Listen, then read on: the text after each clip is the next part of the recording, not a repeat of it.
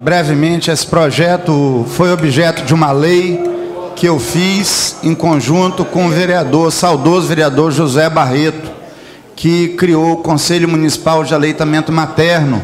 Eu complementei a essa lei que eu e o vereador Josué fizemos entre 2005 e 2008 nessa casa. Eu queria, como homenagem ao vereador, dar sequência criando esse programa. Peço voto não.